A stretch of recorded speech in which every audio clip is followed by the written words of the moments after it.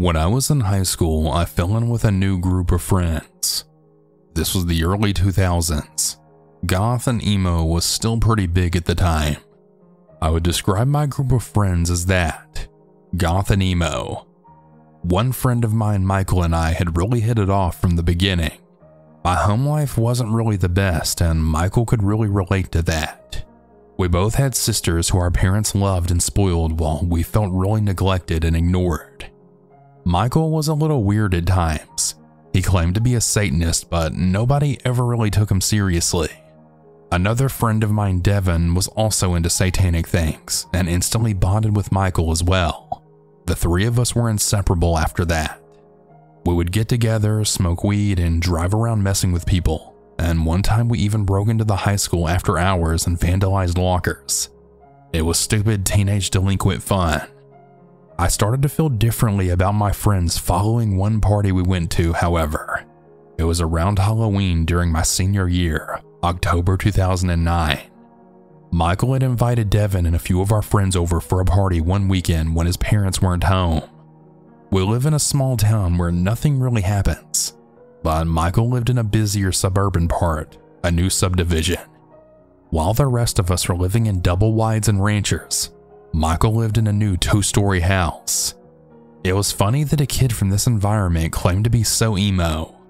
At the party, it was the typical fare snacks, drinks, a little weed, some pills, and alcohol. Michael then promised everyone a little surprise for later. The party went as expected loud music and the occasional drug fueled argument. What happened next, I'll never forget. It was around 11 p.m. when Michael and Devin told everyone to gather around in the basement. Michael's dad had converted the basement into a gaming slash rec room, something right out of that 70s show. We all gathered around the seating area, and my two best friends showed us the surprise. Inside a closet was a woman. She was tied up and gagged with a shirt. Instantly, we had all recognized this woman as Rose, a local vagrant woman who collected cans and was known to dabble in drugs all over town. Michael, what the hell's going on here? I asked as others sat looking very confused. Joey helped us get her. Michael replied, We're gonna have some fun tonight. Devin was smiling as he had started passing around darts to the partygoers. Our first event of the night, the human dartboard. Seriously, what the fuck is wrong with you? A girl in the room had asked. We were all in shock. This was too much, even for Michael. Devin proceeded to throw a dart. It stuck in Rose's arm and she had let out a muffled cry through the shirt. How the hell did you even get her down here? I asked. Michael said that he and Devin had invited her and Joey in to smoke and drink with them. Joey was also another local vagrant. Joey had the mind of a 12 year old, and Rose was a junkie. I'm not surprised they took up the offer. Joey had apparently helped tie up Rose and put her in the closet. She'd been there for a day and nobody knew. Who's next? Michael asked. After me, that is. Michael threw a dart and hit Rose just below her chest. She cried out in pain again. This was sick, but others actually took part in this twisted game. By the time it was over, Rose had 10 darts sticking out of her body. I refused to play. Michael had his older brother blocking the only exit. He had been filming the entire night on his camcorder, and he threatened to show the video to our parents or the police if we attempted to leave. We were being blackmailed at this point. So, are you guys ready for the next game? Devin asked. He and Michael pulled Rose into the floor and then sat her in the middle of a crudely drawn chalk ring Michael had drawn. They then injected her with what Michael claims was heroin, but nobody really knew. Tonight we sacrifice an untouchable to the king, our Lord Satan, Michael stated. Devin, the instruments, please. Devin had a black bag in his hand. When he opened it, we had saw an array of knives kitchen knives, butter knives, etc. This was sick and twisted. Michael had done some questionable things before, but this was way too much. A blood sacrifice to please the king. Michael took a kitchen knife and cut a small slice into Rose, and she cried out in pain. A few of the girls in the room had tears in their eyes, and my stomach was all in knots. I was a little high, but even I knew this was fucked up. What happened next literally made me puke. Michael actually licked the blood off of the knife. The blood of a homeless junkie who has been God knows where. He and Devin then kissed one another, sharing their offering. I knew that Michael was bi, but this behavior from Devin was completely out of nowhere. I really regretted introducing the two. Devin had been weird, but this was all just way too far. Other party guests actually took turns cutting on Rose and licking her blood. These were older guys and one girl. I had no idea who they even were. The rest of us, myself, which was two guys and three girls, refused to take part in this. Suddenly, someone had whispered in my ear, I'm gonna call the cops. Fuck that video. It was a girl that I knew from school. She was one of the few of us who had a cell phone, and she had hidden it in her purse. Cover me, please, she told me. Rose continued to cry out in horror as the Satanists did whatever they were doing across the room. I sat there hoping that they wouldn't actually try and kill her. Please don't let them actually kill this woman in front of me, I told myself. The girl dialed 911 and got a hold of the police. She quietly informed them where we were and what was going on. Then I saw a huge knife being lifted above Rose. No, they aren't going to kill this woman in front of me. I then stood up and yelled, Stop! Seriously! This is just way too fucking far!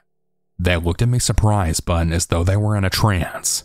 They turned back to Rose, while Michael then replied, Blood must be paid to the king, in an extremely creepy and cringy voice. I ran over and I knocked him to the ground.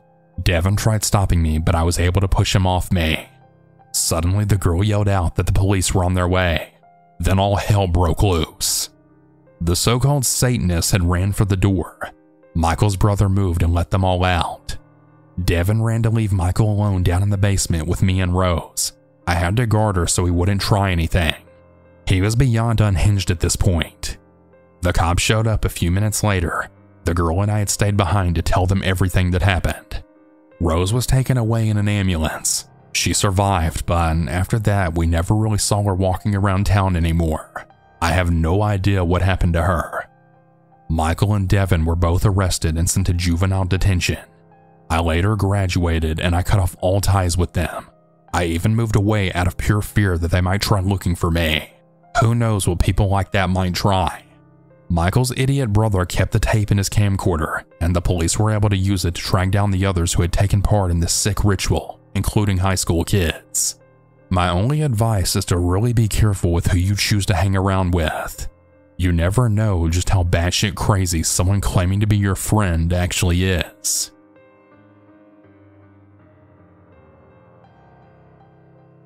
Right off the bat, I want to say that this story is very, very dark.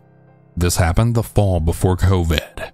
I'm a 27 year old guy, and my younger brother, who's 23, was the victim of the story. Every year, there's a small town about an hour and a half away from us that has a very popular festival every fall that people from all over the state come to take part in. I'm not going to say the name of the town for privacy reasons. Another important thing to note about this particular town is that it's a complete cell phone dead zone, which will be important for later. So, anyway, it was a warm Sunday, and my younger brother and I, an older brother who's 30, decided to go to the festival. I remember us being most excited about the classic car show that they were going to be having there since me and my brothers are really into cars. So we make the hour and a half drive there. Now, because of how small this town is and its layout, we had to park in the middle of the parking lot for the public park that was across the river from the town, which meant that we had about a 15 minute walk and had to cross a bridge to get into the town. We didn't mind though since the weather was perfect outside.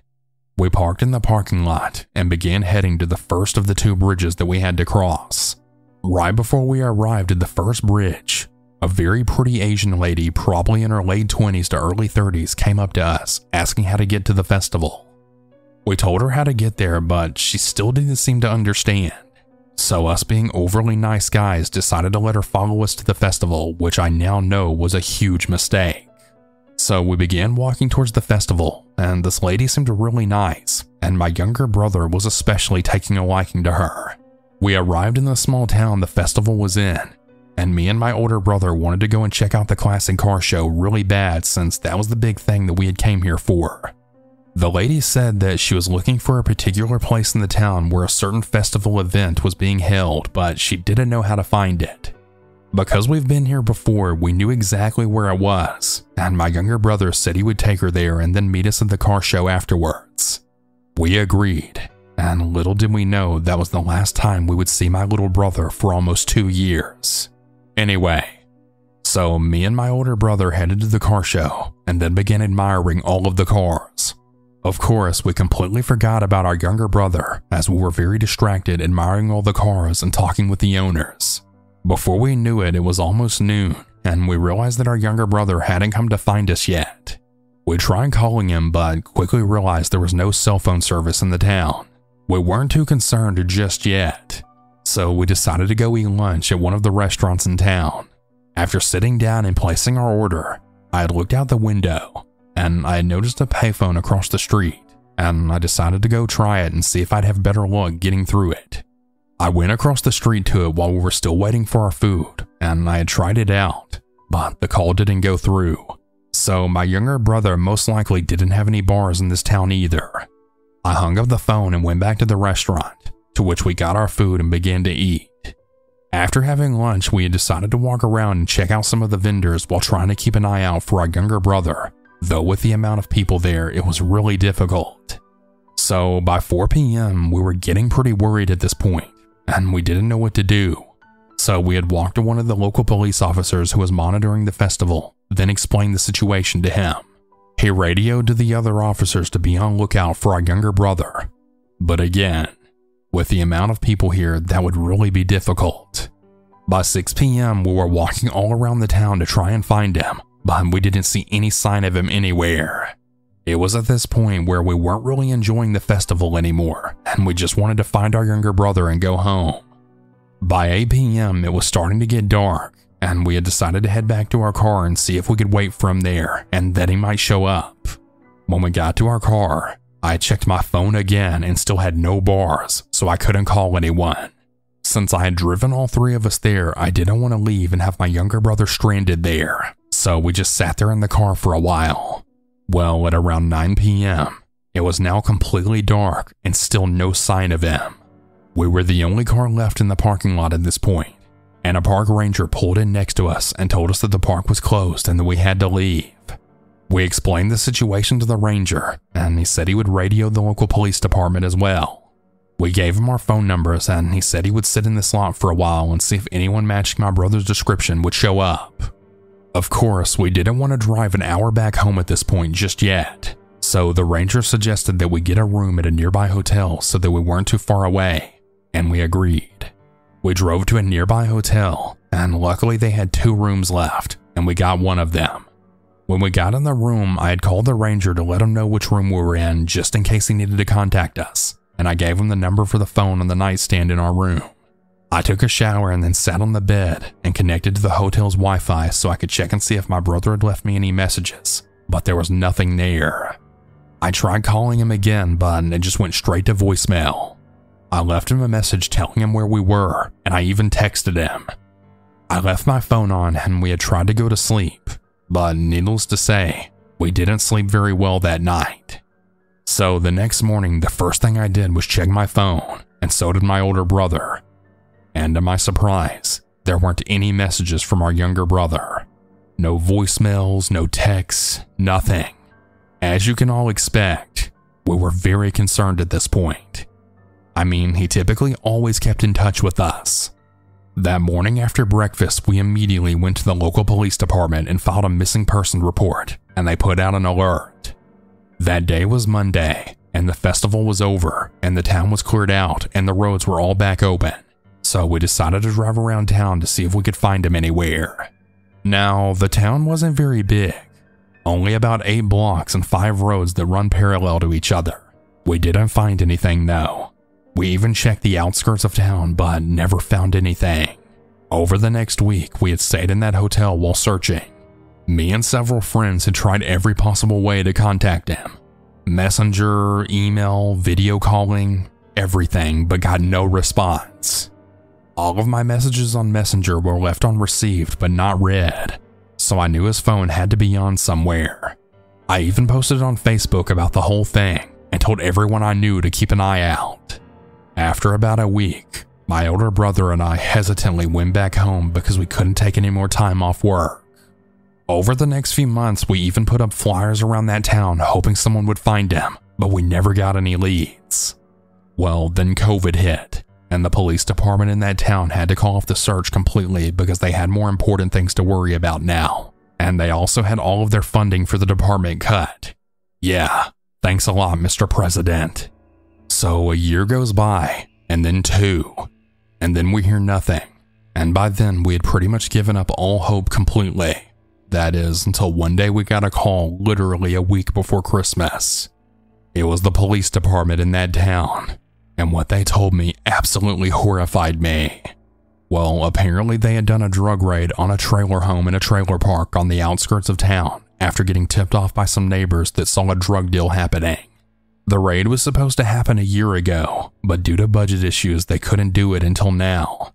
Well, when they raided the trailer, one of the things they found was my younger brother tied up in one of the bedrooms, severely dehydrated, malnourished, and badly injured. Well, when they took him to the hospital and questioned him, he said that the same Asian lady from the festival had taken him down an alley where three guys had jumped him and then threw him in the back of an old ice cream truck before taking him to the trailer.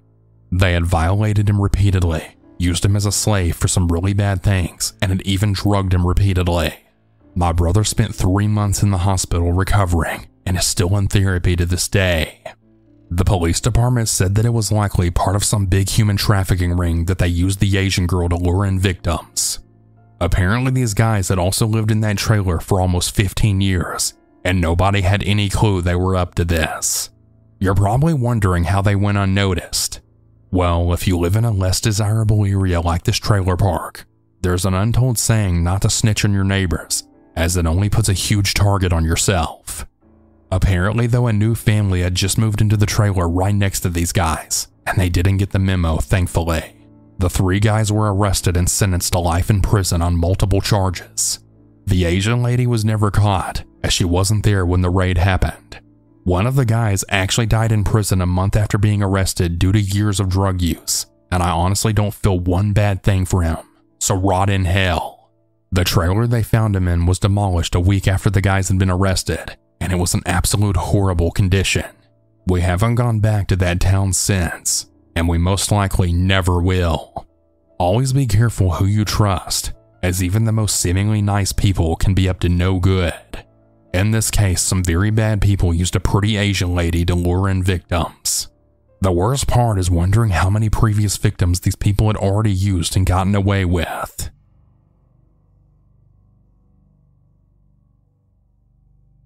My name is Jefferey. I'm a 22 year old male who lives in a small, relatively safe town.